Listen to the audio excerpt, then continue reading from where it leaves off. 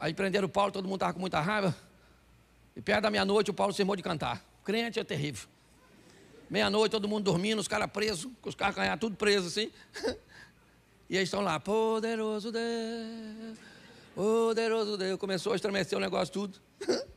As portas abriu tudo, alvará de soltura. Aí vem o, vem o, o carcereiro. Acordou, acordou agora. Nossa, o que aconteceu? As portas tudo abertas. Ele falou: oh, fugiu todo mundo, vou me matar. Paulo falou: calma aí, ô! Infeliz. Ninguém fugiu, não? Está todo mundo aqui. Ele falou: acende uma luzinha aí para eu ver. Aí acenderam. Depois você lê. A história é fantástica. Só estou aqui, né? Rapidinho, mas a história não é nem isso que eu estou falando. É um negócio. Só estou falando fofoca, só superficial.